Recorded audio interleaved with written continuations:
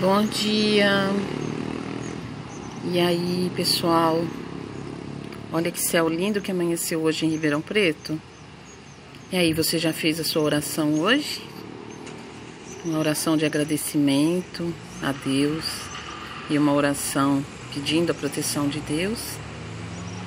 Que Deus proteja todos vocês, todos nós e principalmente aqueles que não podem parar. Os lixeiros, os médicos, enfermeiros, todo o pessoal que trabalha na área de saúde, policiais, os caminhoneiros, todo esse pessoal que, que não tem como parar. Então nós temos que pedir a bênção para eles e que eles também se protejam bem durante o trabalho deles. E a gente tem que fazer uma oração de agradecimento a eles. Então, coloquem aí nos seus um agradecimento a todos eles. Amém. Boa tarde, tô aqui na rede, descansando. Tô meio estressada. Tô aqui na rede, tô estressada. Ouvindo o jornal regional ali na TV, dando as notícias da cidade. E olhando aqui. Gente, hoje tá. O pessoal tá. Tá, tá vazio, gente, tá vazio. O estado de São Paulo tá em estado de calamidade pública todo mundo, só esses serviços essenciais.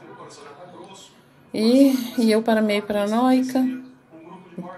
Gente, eu tive que buscar uma encomenda na portaria, mas me deu um pânico a hora de eu sair na, na porta.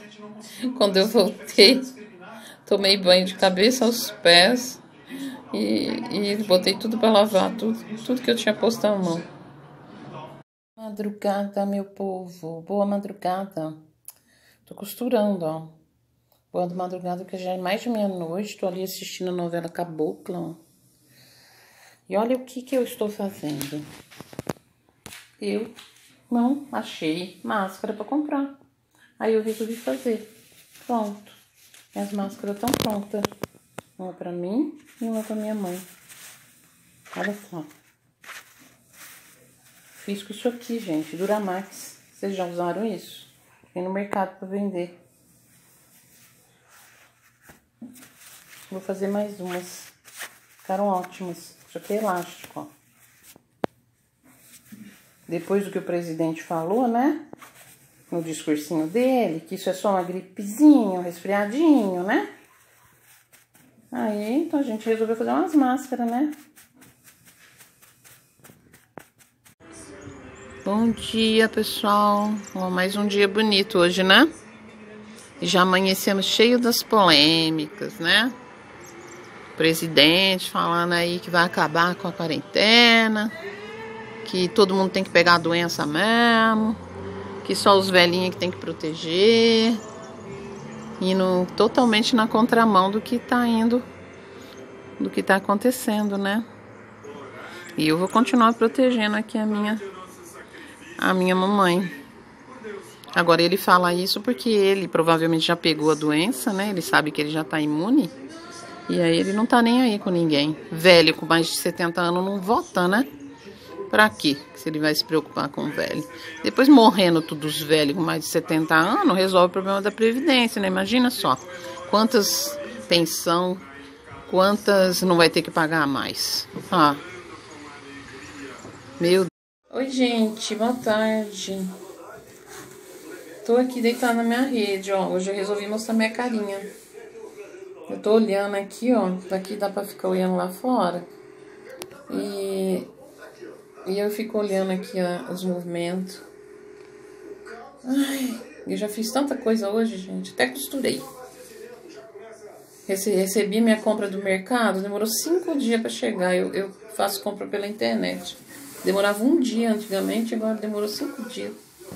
E olha lá, aquelas duas bolinhas ali atrás, eu tô fazendo exercício com a minha mãe. Pra gente não ficar parado. Sabe, gente, eu. Cada vez que eu desço lá embaixo, eu dou. Eu entro num pânico, assim. Eu fico perguntando como é que as pessoas que têm que andar na rua estão fazendo. Ai, meu cabelo tá precisando da minha cabeleireira, cadê ela? Dia pessoal, olha, já são mais de 11 horas, né? mas eu já fiz muita coisa. Já dei o café da manhã da minha mãe, já assistimos a missa da Aparecida, já já limpei toda a minha casa, higienizei tudo, já tomei meu banho, agora a mamãe, mãezinha tá tomando o banho dela. E a gente, eu tô vendo que, não sei, parece que aumentou um pouco o movimento, mas eu vejo muito caminhão de entrega. E o que, que eu vou fazer agora? Olha aqui, gente, ó. Aqui é o meu é o quarto que a minha sobrinha costuma fazer é, lição de casa. Mas como ela não tá podendo vir aqui, ela eu transformei numa mesa de costura, ó. Tô costurando. Aqui é um, é um, tem um espelho que a gente ensaia nossas coreografias de dança. E assim, né? Boa noite, décimo primeiro dia de quarentena. E eu vou contar uma historinha que eu ganhei um livrinho uma vez na capa de um sabão em pó quando eu tinha uns sete anos e eu li a historinha do ratinho que ele e os outros ratinhos estavam indo por um caminho e de repente se depararam com uma montanha. E aí eles não todos falaram: "Vamos voltar, não vamos conseguir passar". Mas aí um ratinho pegou um baldinho, foi lá, raspou, raspou, pegou, encheu de, de, de terra e voltou. E foi, fez de novo, fez de novo. Os outros ratinhos falaram: Ei, seu bobo, assim você não vai conseguir acabar com a montanha retirar a montanha. Ele falou: sozinho não, mas eu estou fazendo a minha parte. E aí, você está fazendo a sua parte?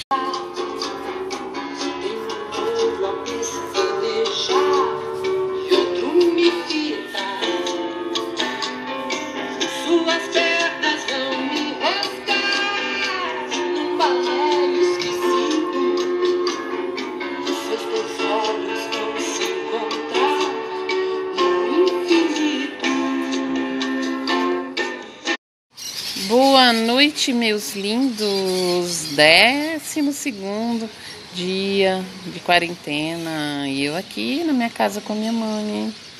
Sabe o que, que eu fiz hoje? Além de tudo aquilo que eu faço, eu atualizei minha agenda. Ou melhor, eu reagendei a minha agenda. Porque eu tinha várias coisas que eu tinha agendado para fazer em abril, maio, junho. Sabe o que, que eu fiz? Quando entrar setembro e a boas novena nos campos. Pois é, eu reagendei a maioria dos meus compromissos para setembro. Pronto, até agosto eu tô tranquila, na minha casa o máximo de tempo, protegendo eu e minha mãe, sem se preocupar. E pronto, acabou. Tá bom? E quem puder, fique em casa o máximo de tempo possível. Essa é a Oi, olha a chuva, Priscila. Priscila dormiu o dia inteiro, só levantou agora. Vai descer do prédio dela, né? Né, Priscila? Como é que foi seu dia? Dormiu o dia inteiro, é? Eu fiz crochê, fiz almoço, fiz macarrão. Hein? Como é que tá a tua quarentena? A nossa tá firme e forte, ó. Olha a chuva lá fora, ó. Ainda bem que choveu, porque aí esse povo sai da rua, né? Gente, hoje eu vi tanta gente fazendo caminhada. Mais do que eu gostaria de ver.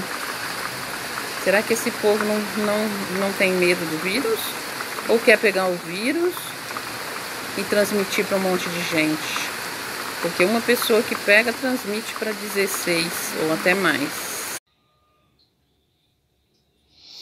Eu quero sair, eu quero falar, eu quero ensinar o vizinho a cantar.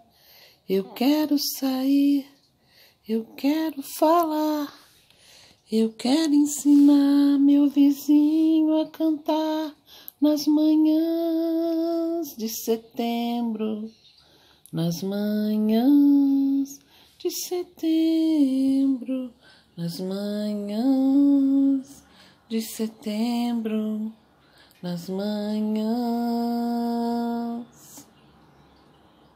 Hum, eu quero sair, Eu quero falar. Eu quero ensinar meu vizinho a cantar. Eu quero sair. Eu quero falar. Boa tarde, pessoal. Ó, duas semanas de quarentena. Vocês vão observando aqui a entrada e saída do meu condomínio. Sabe o que eu tava pensando agora, enquanto eu tô aqui na minha janela tomando um pouquinho de sol?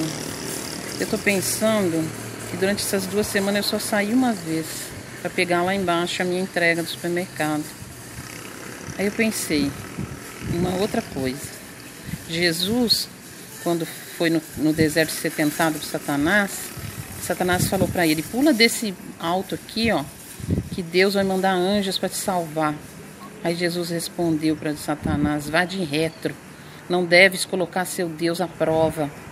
Se Jesus não colocou Deus à prova, que então que você vai sair de casa e colocar Deus à prova? Não vai fazer igual o nosso presidente, que acha que é mais do que Jesus e está colocando Deus à prova e contaminando as